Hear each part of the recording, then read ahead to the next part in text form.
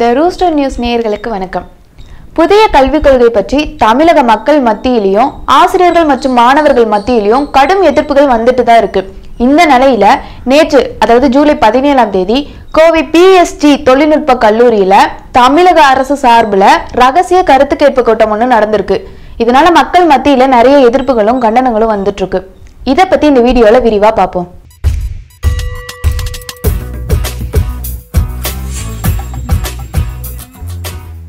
ஆசிரியர்களுக்கும் மாணவர்களுக்கும் அப்புறம் அவங்களோட பெற்றோர்களுக்கும் எந்த ஒரு பொது அறிவிப்புமே இல்லாம தமிழக அரசு சார்பில் இந்த ரகசிய கருத்து கேட்பு கூட்டம் ஏன் நடக்குது அப்படின்னு தந்தை பெரியார் திராவிட கழக நிர்வாகிகளுக்கு சந்தேகம் வந்திருக்கு.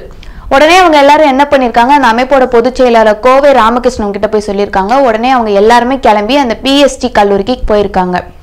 போனதுமே அந்த வளாகத்தோட வாசல்ல இருந்த போலீசார் கிட்ட அனுமதி கேட்டிருக்காங்க. ஆனா அந்த போலீசார் எல்லாருமே வந்து அனுமதி தராம மறுத்திருக்காங்க. உடனே அவங்களுக்குள்ள நிறைய வாக்குவாதங்கள்லாம் வந்திருக்கு. இந்த வாக்குவாத நிறைவுல அவங்க வந்து உள்ள போறதுக்கு அனுமதி கொடுத்துருக்காங்க.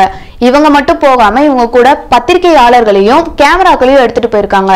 கேமராக்களோட உள்ள போனவங்க அதிகாரிகளை பார்த்த கேட்ட கேள்விகள் என்னன்னா இந்த கருத்து கேட்பு கூட்டத்துக்கு சரியான அறிவிப்பு செஞ்சீங்களா? அது மட்டும் இல்லாம மாணவர்கள் தரப்புல யாரு இருக்கா? மாணவர்களோட பெற்றோர்கள் தரப்புல யாரு இருக்கான்னு கேட்டிருக்காங்க. இதை தொடர்ந்து எதுவுமே தெரியாம நீங்க சொல்றதை மட்டும் கேட்கறவங்களை வச்சுக்கிட்டு கருத்து கேட்பு கூட்டம் நடத்துறது நியாயமான ஒரு செயலான்னு கேட்டிருக்காரு.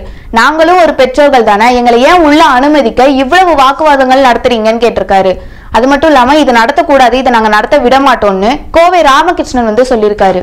இதை தொடர்ந்து கடைசி நேரத்தில் இப்படி கருத்து கேட்பு கூட்டம் நடத்துறீங்களே இதை சரியா விளம்பரம் பண்ணியிருக்க வேண்டாமா? இதை பத்தி மக்களுக்கு தெரியப்படுத்தியிருக்க வேண்டாமான்னு கேட்குறாங்க அது மட்டும் இல்லாம மக்களுக்கே தெரியாம நடத்துறதுக்கு பேரு கருத்து கேட்பு கூட்டமா அப்படின்னு சொல்றாங்க. இப்படி எல்லாத்தையும் நீங்களே தயார் பண்ணி வச்சுட்டு நடத்துறீங்களே கையெழுத்து மட்டும் நாங்க போடணுமா அப்படின்னு கேட்டிருக்காங்க. அது மட்டும் இல்லாம புதிய கல்விக் கொள்கைக்கு சரியான தமிழாக்கம் தெரியுமா? நாங்க அதை ரெடி பண்ணி வச்சிருக்கோம் இதை வாங்கி படிங்கன்னு எல்லா அதிகாரிகள் கிட்டையும் அதை கொடுக்குறாங்க. எல்லா அதிகாரியும் அமைதியா இருந்துட்டு இருந்தப்ப ஒரு அதிகாரி மட்டும் நீங்க எங்க கிட்ட பேசுறதெல்லாம் தப்பு. நீங்க வந்து எங்க கிட்ட பேசாதீங்க. நீங்க போய் ஸ்கூல் டைரக்டர் கிட்ட போய் பேசுங்க. அதுவும் இல்லாம இது வந்து ஒரு மீட்டிங் கிடையாது. இது ஒரு டிஸ்கஷன் தான் அப்படின்னு சொல்லியிருக்காரு. இதுக்கு ராமகிருஷ்ணன் தரப்புல இருந்து ஒருத்தர் என்ன கேக்குறாருன்னா டிஸ்கஷனுக்கும் மீட்டிங்க்கும் வித்தியாசம் தெரியுமா சார்னு கேக்குறாரு. அதுக்கு அவர் என்ன சொல்லியிருக்காருன்னா ஒரு பாலிசி மேட்டர் பத்தி நாங்க டிஸ்கஷன் தான் பண்ணிட்டு இருக்கோம். இதுக்கு மேல நீங்க எதுவும் பேசாதீங்கன்னு பதில் அளிச்சிருக்காரு அப்ப ராமகிருஷ்ணன் அவர்கள் என்ன கேக்குறாருன்னா சார் இது வந்து மக்கள் பிரச்சனை. மக்கள் எத்தனை பேர் இங்க இருக்கிறாங்க? மக்களே இல்லாம நீங்க வந்து கருத்து கேட்பு கூட்டம் எப்படி நடத்துறீங்க?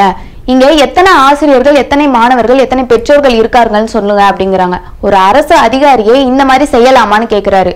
அதுக்கு அங்க இருந்த அதிகாரி என்ன பதில் சொல்றாருன்னா நீங்க வந்து அரசு ஊழியர்களை பணி செய்ய விடாம தடுத்துட்டு இருக்கீங்க அப்படின்னு சொல்லியிருக்காரு. இந்த மாதிரி ஒரு பத்து நிமிஷமா இவங்க ரெண்டு பேருக்கும் வாக்குவாதங்கள் தொடர்ந்துட்டே இருக்கு. வாக்குவாதங்கள் முடிந்த நிலையில இந்த கூட்டத்தை பாதியிலேயே நிறுத்திடுறாங்க.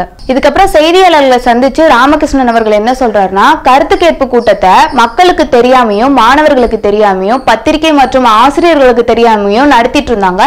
இந்த தகவல் வந்து எங்களுக்கு தெரிய வந்துச்சு. முறையா விளம்பரப்படுத்தி சமூகத்தின் அனைத்து தரப்பினரையும் கூப்பிடாம அவங்களுக்கு ஆதரவான சில ஆசிரியர்கள் மற்றும் தனியார் பள்ளி ஆசிரியர்களை மட்டும் கூப்பிட்டு நடத்துறது நியாயமா? அதனால இதை தடுக்கணுங்கிற முயற்சியில நாங்க பத்திரிகையாளர் சில பேரை கூப்பிட்டுட்டு அந்த இடத்துக்கு போனோம் அப்படின்னு சொல்லியிருக்காரு. அது மட்டும் இல்லாம அரசோட இந்த போக்கை அவங்க நிறுத்திக்கணும்னு சொல்லியிருக்காங்க. மாணவர்கள் பெற்றோர்கள் ஆசிரியர்கள் கல்வியாளர்கள்னு அனைவருக்குமே ஒரு சரியான அழைப்பு ஒண்ணு கொடுத்து அதுக்கப்புறம் தான் கருத்து கேட்பு கூட்டத்தை நடத்தணும்னு சொல்லியிருக்காங்க. அது மட்டும் இல்லாம அவங்களுக்கு ஆதரவான சில ஆசிரியர்கள் மற்றும் பள்ளிகளை வச்சு நடத்துறதுக்கு பேரு உண்மையான கருத்து கேட்பு கூட்டமே கிடையாது. எல்லா தரப்பினருக்கும் சரியான அழைப்பு விடுத்து எல்லார் முன்னிலையும் நடத்துறது தான் சரியான ஒரு கருத்து கேட்பு கூட்டம்னு சொல்றாரு. இந்த புதிய கல்விக் கொள்கை பற்றிய கருத்து கேட்பு கூட்டத்தை ஏதோ ஒரு இடத்துல யாருக்குமே தெரியாம ரகசியமா இனிமே நடத்தக்கூடாது. அது மட்டும் இல்லாம இதுக்கான சரியான விளம்பரத்தை கொடுத்து மக்கள் மத்தியில இதை நடத்தணுங்கிறது மக்களோட கோரிக்கையா இருக்கு. மேலும் இது போன்ற செய்திகளுக்கு த ரூஸ்டர் நியூஸ் சேனலை சப்ஸ்கிரைப் பண்ணவும் நன்றி வணக்கம்.